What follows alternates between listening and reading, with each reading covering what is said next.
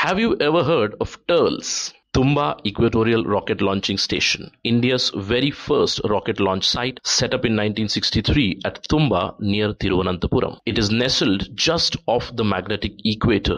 It was built inside a repurposed church, launching the first sounding rocket Nike Apache on 21st November 1963. In the year 1968, Thumba Equatorial Rocket Launching Station was dedicated to United Nations, becoming an international research hub for upper atmospheric studies. Over a period of time, it has transitioned from foreign rockets to India's own Rohini series, starting with Rohini 75 in 1967 to today's Rohini 200, Rohini 300, and Rohini 560 launches for atmospheric study. Today, TERLS is a part of Vikram Sarabhai Space Center contributing to tech development like inflatable aerodynamic decelerator test on sounding rockets.